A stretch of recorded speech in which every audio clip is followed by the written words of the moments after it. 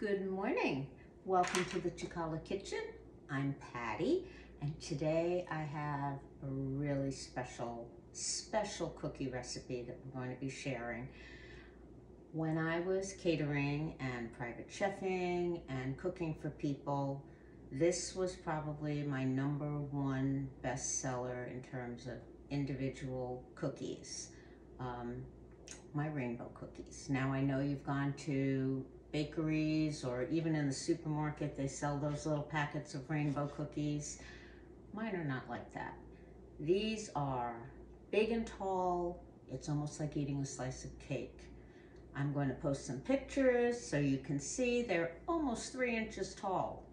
So this is a very special and very delicious rainbow cookie. This video is going to be a little different. A lot of it will be in photographs because it's a process and I need to keep it short enough so that TikTok will accept it. So I'm going to give you the ingredients. Here we go. We need four sticks of butter. Four full sticks, softened, room temperature at least. Eight eggs, two cups of flour, two cups of sugar. We need two full tablespoons of almond extract, and we need almond paste.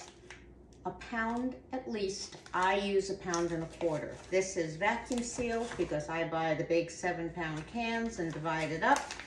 But I use a pound and a quarter. A pound is fine. Anything in between that. I would not go more than a pound and a quarter. It'll affect the texture of the cookie. You need apricot preserves and red raspberry. I know most cookies do one or the other. We do both. We need chocolate to melt to coat the outside. We need whatever your favorite kind of sprinkle or decoration is. And we need food coloring, red and green, and one layer will be white, just like the Italian flag. Okay, now let me tell you what I do. First of all, as far as the jams and preserves, I whip them up in my little mini processor. Apricot preserves especially are going to have pieces of apricot in them. You don't want that when you're cutting into your cookie.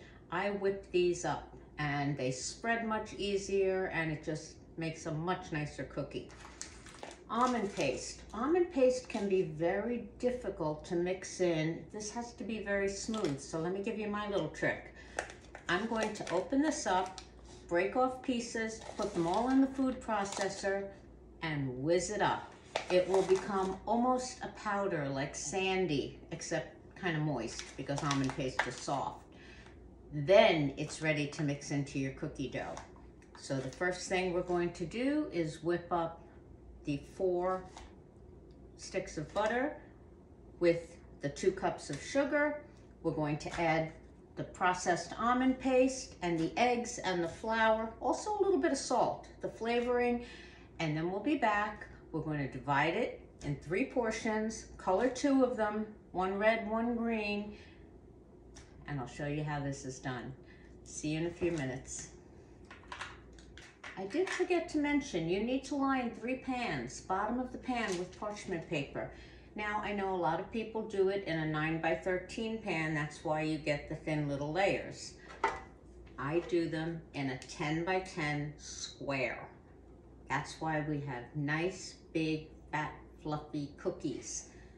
So take your choice. And at the end, we'll talk about how long to bake them for, depending on the size of your pan. But I use the 10 inch square and wait till you see what we get.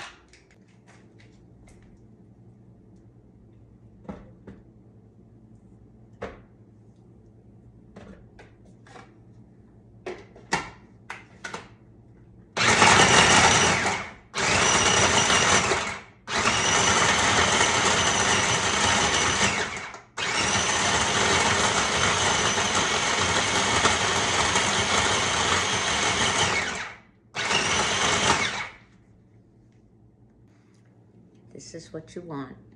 Crumbled, smooth little pieces. Here we go.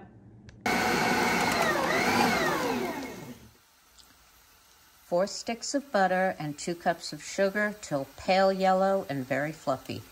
Now we add in the almond paste and process again. Now I'm adding in eight eggs, one or two at a time until smooth, and I get all eight in. How fluffy that is. I'm going to add in my extract, two cups of flour, and process till it's very smooth with no lumps, and then we'll be back. Divided in three, one green, one red, one white. Here we go.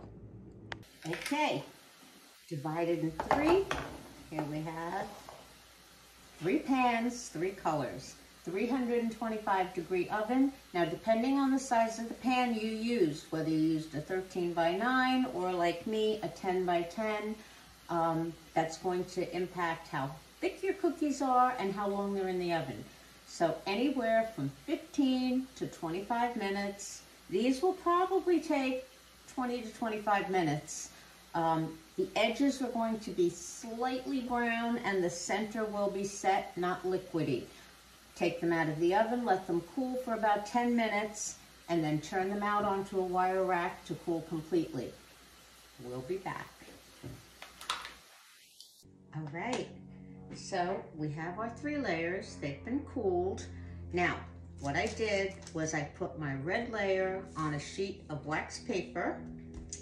I whipped up both my fillings. Now, if you don't like raspberry or you don't like apricot, you can use all of one or all of the other or any flavor you like.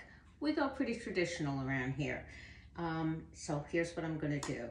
I'm going to spread some of my whipped preserves. Now, you don't want a super thick coating. We don't want these slices sliding around, these layers sliding around on each other or cookies coming apart when people are trying to eat them. So just a thin layer. It's just a little bit of flavor in there. So this is the apricot. You could use either one at any time. Just a thin layer. Okay. Now, I'm going to take my white layer and lay it right on top, just like that. I made a mess here. Okay. Center it, and I'm going to put my raspberry layer on top of this one. Again, just a thin layer. Don't go crazy with this because you will have very messy cookies instead of pretty cookies and the layers will slide around and make it much harder for you to put the melted chocolate on. So, here we go. Just a little bit. And trust me, you will taste the raspberry and the apricot through this. Okay, good. Now we're going to get our green layer.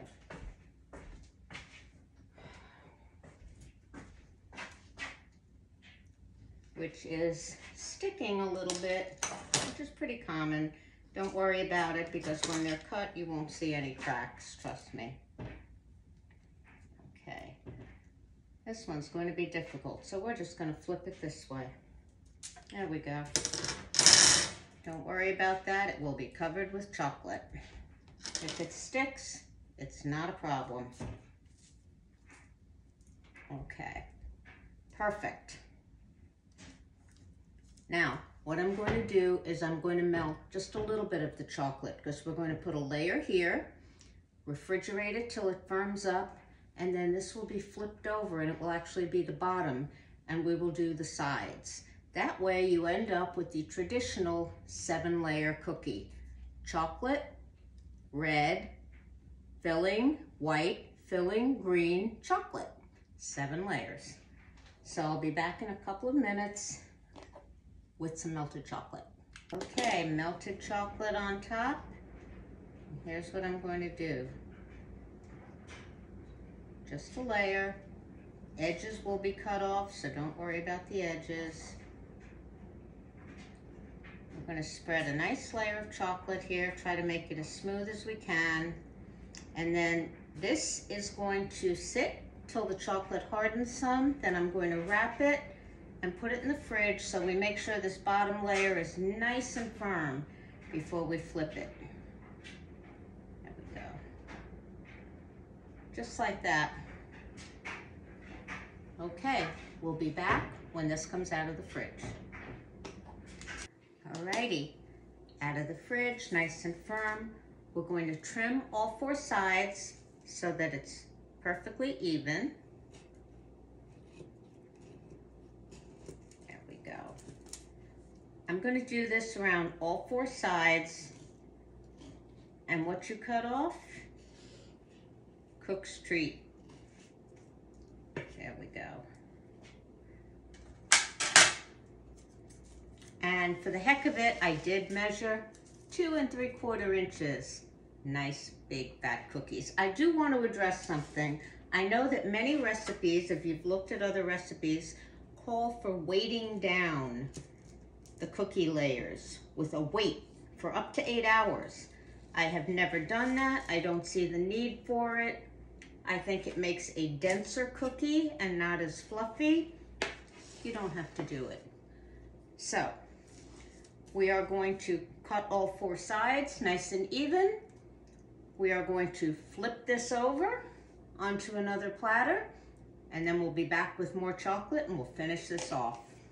Okay, so you can see before I poured this new chocolate on, I put four strips of wax paper underneath the edges and that will be to make smoothing it out and cutting a straight edge much easier. We'll show you when it's all hardened. After this is done, we are going to put this in the fridge. Let's see what we got here. We're gonna put this in the fridge, let it harden. And you can keep it refrigerated. I'm just going to cover it well and put it in my nice cool garage until I'm ready to make my cookie platters and send them out. So I'm not going to cut this one. I do have pictures for you of others I've made that were cut so you can take a look. But this one will not be cut yet because this is going out within the week and I it stays fresher if you don't cut it. There we go. So, nice and smooth. Have your sprinkles ready. You want to put them on top and decorate while the chocolate is not hard. Nice smooth top.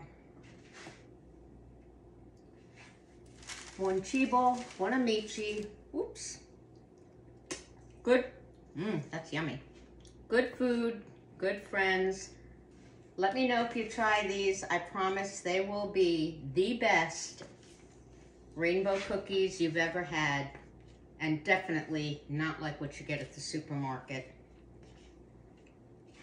See you in a few.